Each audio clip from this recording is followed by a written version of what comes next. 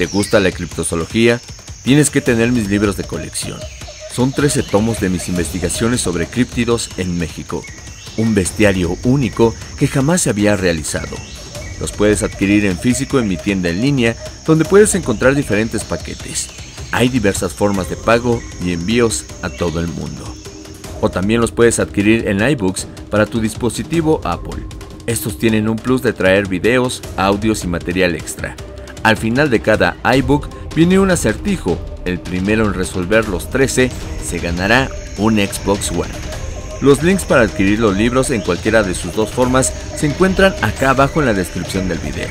Y para cualquier duda o aclaración, puedes escribirme al correo oxlack.ediciones.gmail.com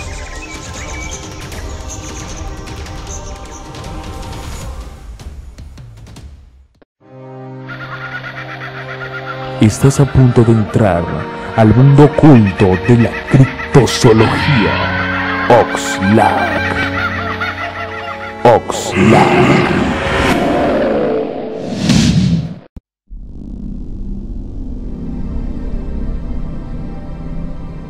El Kelpie es una criatura con figura similar a la de un caballo que se cree habitaba los ríos y lagos más profundos de las tierras altas de Escocia.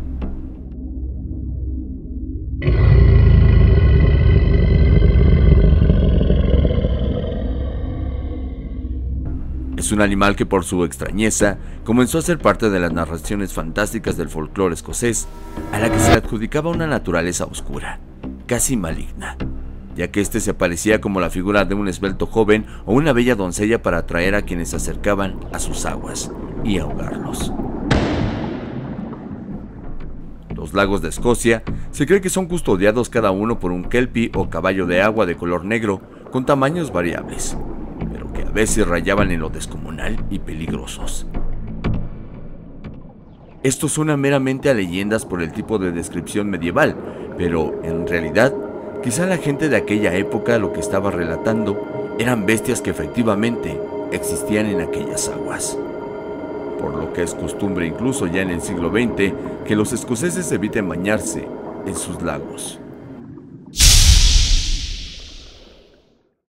La folclorista galesa Barbara Kay narra en su obra Cuentos y leyendas de Escocia una interesante historia sobre un kelpie que habitaba un lago, resaltando su maléfica naturaleza.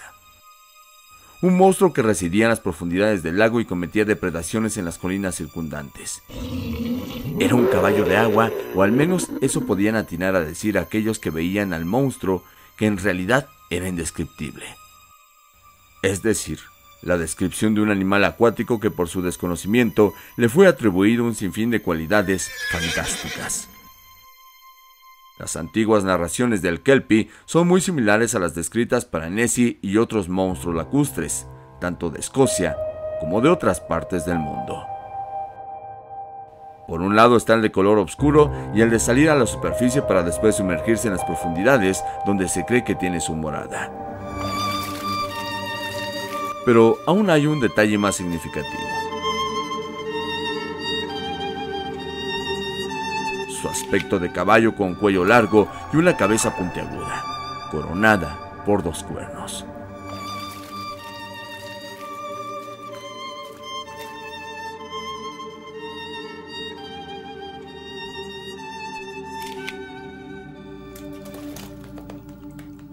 Estas semejanzas pudieran ofrecernos la clave que se esconde tras los relatos de los monstruos aserpentados acuáticos en Escocia.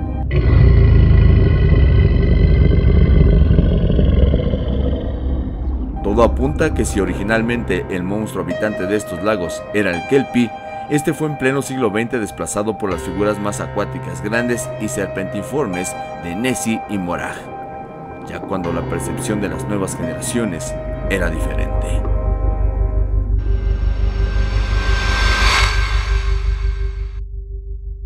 Con el descubrimiento paleontológico de enormes dinosaurios y criaturas acuáticas que vivieron hace millones de años en la Tierra, se cree que es posible que algunos de los relatos más descabellados sobre monstruos acuáticos hayan surgido a raíz del avistamiento de un ejemplar que haya sobrevivido al tiempo por alguna extraña razón.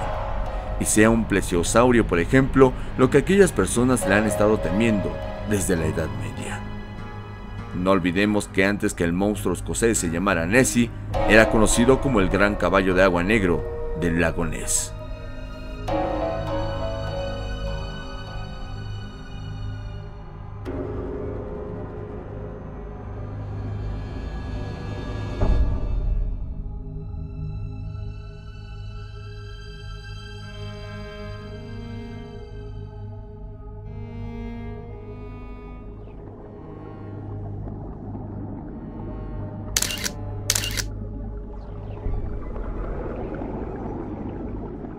Quizá en otras regiones del planeta en las que existen referencias a monstruos lacustres también aparecen en el folclore, o en las creencias mágicas de los pueblos nativos, criaturas con formas cercanas a las del caballo habitando lagos.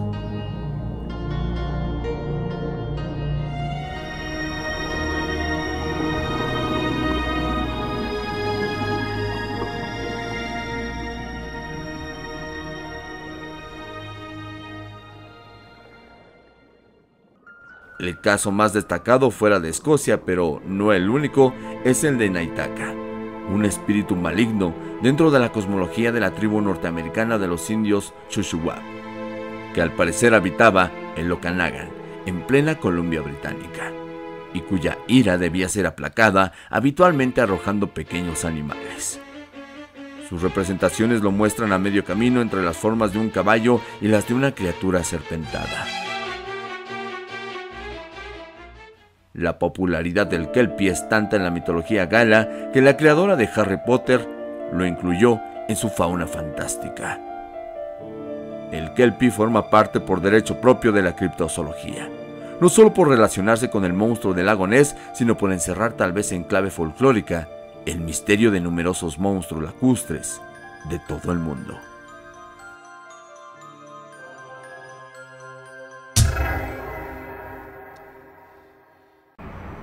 Las leyendas y la mitología no necesariamente deben de ser parte de la imaginación o la fantasía.